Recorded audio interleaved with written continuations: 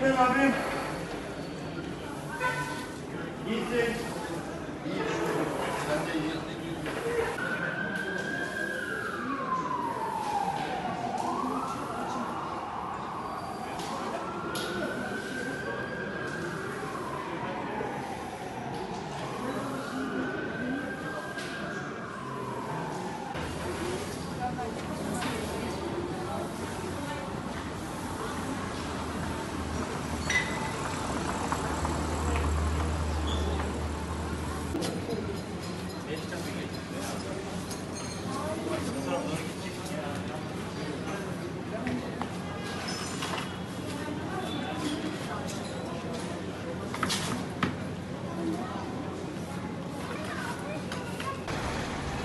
Evet sizi bir tanıyabilir miyiz?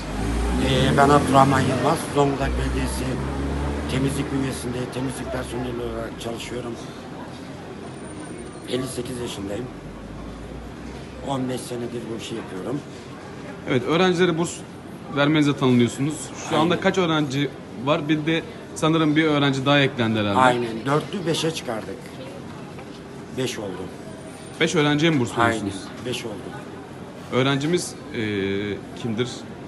Kaçıncı sınıf öğrencisi? Hangi? Öğrencimiz Eskişehir Yabancı Dil İngilizce öğretmenliği okuyor. Kendisi Zonguldaklı. Gerçekten ama gerçekten çok ihtiyacı olan bir öğrencimdir. Siz nereden buldunuz öğrenciyi? Bunu Şey- ben e, ismini vermediğim bir arkadaşımın vasıtasıyla tanıdık. Biz kendisiyle de görüştük. Ailesiyle de görüştük. Ailenin yerinde değil. Tabii ben de ne yaptım?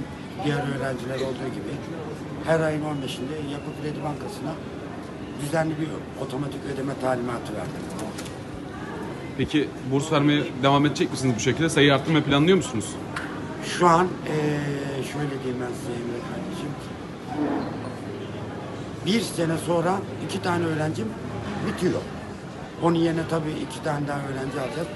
Ben ilk öğrencilere burs vermemle tanımlıyordum. Orada da söylemiştim. Ömrüm çalıştığım sürece, bütçem el verdiği sürece öğrencilere burs vermeye devam edeceğim.